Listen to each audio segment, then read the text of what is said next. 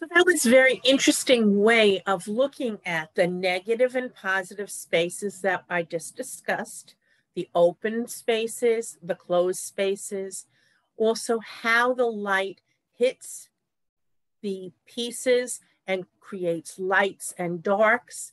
And that is called movement of the piece. So art can be just about anything. We saw that one artist decided to take parts of damaged cars and use those to be his sculpture and bend them and hammer them and let the color of the part of the metal play off the, the rustiness of another part. And in the part about the wedding chapel, we see what she talks about as found objects. We can create a sculpture by not carving or not using clay to build up, but by adding objects that we find. For instance, you could do a nature sculpture, a nature sculpture where you collect rocks and twigs and leaves and you put them together with an adhesive and you create a sculpture. Or if you wanted to be a sculptor, you might take a hunk of clay and carve off some and add some to other places and create your sculpture that way. So adding and re reducing, right? And then you could also um, do the method of building where you're, you're welding, like we saw with the first piece, and we're adding to the sculpture by welding on other pieces. The first piece was very interesting, I think, and that was the one that had to do with surrealism. And remember, surrealism was sort of from a dreamlike state and also uh, was influenced by the war. And what I thought was very interesting about that first piece was that when you looked at the poles that came down, the play between the negative and positive spaces in sort of like the leg structure, even though it wasn't a leg, um, really was very interesting to look at. It took a lot of thought to make it narrower and, and wider in certain spots so that light would play off the negative and positive pieces.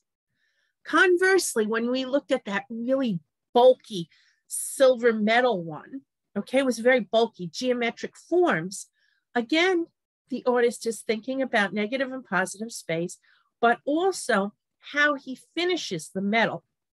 And the metal with that finish will also reflect uh, a feeling of the sculpture. So there are many ways to make a sculpture by adding, by taking away, by attaching, by using fine, uh, found objects, all of which have a place in fine art. Even if it's a used car piece or tire, if they work on that and they bring it together in an art form, it is considered a fine art piece of sculpture. The final thing that I'd like to talk about today is a little bit more about mobiles and Alexander Calder. Many people have done mobiles in the past, but he is very uh, prominent in this modern art technique. Alexander Calder was raised by a sculptor father and a painter mother. So he had a great deal of art background behind him when he started his voyage into being a sculptor. He was always constructing things out of wood and pieces of found objects when he was a child. So from early on, he was very interested in art and um, with the influence of his parents became very um, well known. So he's working in three dimensions and he created mobiles that would move, um, as I said earlier, with a breeze or just floating air and cause a feeling of movement. All right. Now, what I want you to do is to look at this next video on Alexander Calder and see how he manipulates art. When the video's over, the lecture will be done. Please make sure that you look at the homework section of my um, area so that you can look at the grave art that we discussed first. So you have a complete picture of from the beginning to how art moved through the early times into times before and after World War One and after World War II and into modern art.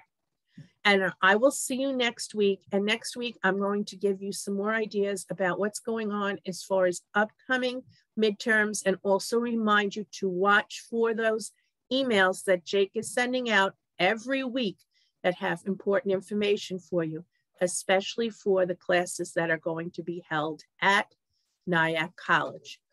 I hope you have a good week. Watch this last one on uh, Calder, and I'll see you next week.